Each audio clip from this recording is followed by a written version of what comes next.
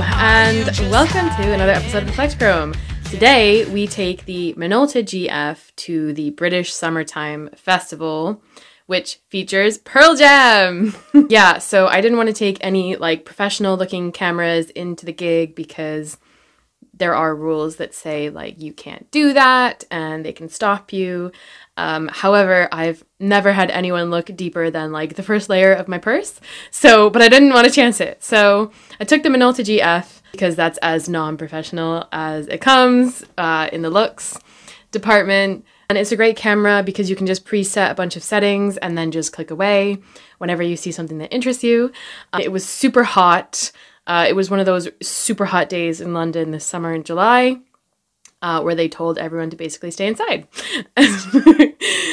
but we made it, we survived. And Stereophonics were there, Johnny Marr was there, uh, Pearl Jam was there, of course. Um, Imelda May was also there, but we missed her. And then there was this, I think it was a Cuban band um, that I have some video, but I forget their name. Um, they were pretty cool. They were pretty cool until the end, um, where they had a second show, and I looked over, and the guy was wearing like a headdress and pants, and that was it. And like not like the American kind of pants, like the British kind of pants, like underwear. Uh, and I was like, what happened between when I saw him on stage and then the next show? He lost a lot of clothes. Uh, but they were super fun, anyways, during the show that we saw with them, and uh, they definitely really hyped up the crowd. So, yeah, it was awesome, and I hope you guys enjoy the video and enjoy the photos. Uh, I think I was using Color Plus uh, for these ones. And yeah, that's really it. It's just a short, fun video uh, shooting film at a festival with the Minolta GF, which is a super fun camera to use. Uh, so yeah, let me know what you guys think in the comments below. And uh, as always, love to hear from you. And I will see you next week. Bye.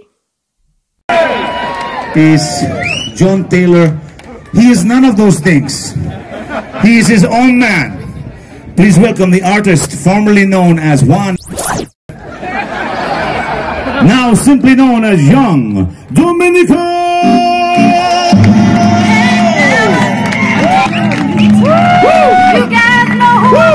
You go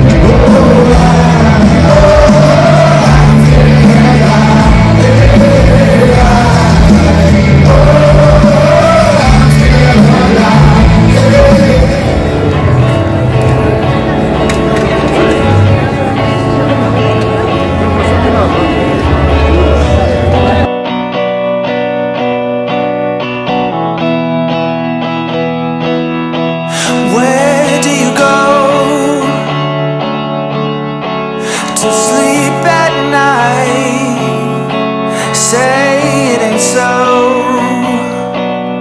Please say it ain't so.